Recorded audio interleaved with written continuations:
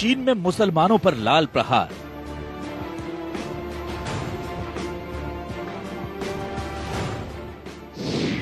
चीनी सेना को मिला मुसलमानों पर कहर बरपाने का परमिट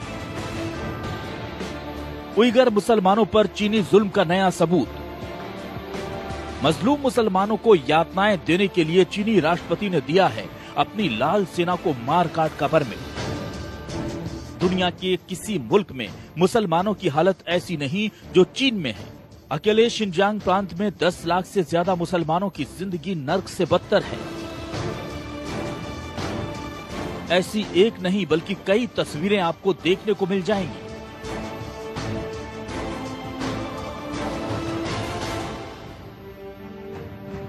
ये सच्चाई पूरी दुनिया जानती है कि चीन में उइगर मुसलमानों की ज़िंदगी को जहन्नुम बना दिया गया है। लेकिन अब हुए नए खुलासे में चीन की हरकत पूरी दुनिया में बेनकाब हो चुकी है। दी न्यूयॉर्क टाइम्स द्वारा हासिल किए गए 403 पन्नों के आंतरिक दस्तावेज़ चीनी कम्युनिस्ट पार्टी की बेहद गोपनीय विवादास्पद कार्रवाई के बारे में खौफनाक खुलासे करते हैं। चीन की इस दमनकारी सोच के बाद पूरी दुनिया और खासकर अमेरिका में इसकी कड़ी आलोचना हो रही है।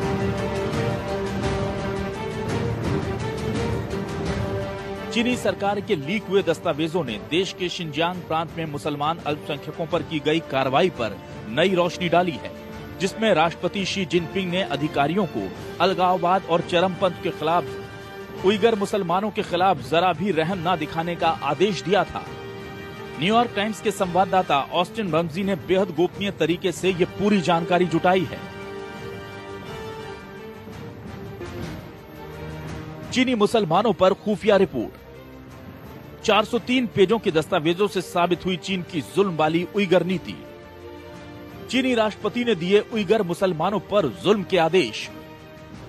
जरा भी रहम नहीं वाला आदेश आया दुनिया के सामने। अलगाववाद और चरमपंथ के बहाने निशाने पर उइगर मुसलमान। उइगर आबादी पर निगरानी और नियंत्रण के निर्देश भी ली।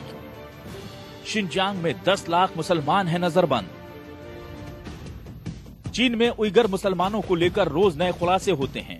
लेकिन इस जुल्म में चीनी राष्ट्रपति की सीधी रजामंदी को साबित करने वाला ये पहला खुलासा है, जिसके बाद पूरी दुनिया चीन की इस मुस्लिम विरोधी नीति की मुखालफत कर रही है। ज़्यादा वक्त नहीं बीता जब चीन की एक सबसे घिनौनी नीति का भंडाफोड़ हुआ था। चीन ने मुसलमानों की औरतों को बेइज्जत करने के लिए इस षड्यंत्र को नाम दिया है, जोड़ी बनाओ और परिवार बनो प्रोग्राम। चीन अपने उत्तर पश्चिम इलाके में रहने वाले उइगर मुसलमानों के खिलाफ दमन के लिए नए तरीके आजमाता रहा है। उसका नया तरीका न केवल होश उड़ाने वाला है, बल्कि बेहद भद्दा और गंदा भी है। इसे घोर आपत्तिजनक और अनैतिक भी कहा जाता है। चीन उइगर मुसलमान महिलाओं के लिए जोड़ी बनाओ और परिवार बनो प्रोग्राम चला रहा है। इसके तहत वो चीनी पुरुष अधिकारियों को उनके घरों पर भेजता है। जिसमें महिलाओं को एक ही बिस्तर पर साथ सोने के लिए मजबूर किया जा रहा है। चीन ने शिनजांग क्षेत्र में करीब 10 लाख उइगर मुसलमानों को नजरबंद किया है। इनके शरीर पर टैग लगाए जाते हैं ताकि ये क्या कर रहे हैं, कहाँ जा रहे हैं, किससे मिल रहे हैं, सबकी जानकारी सरकार के पास रहे।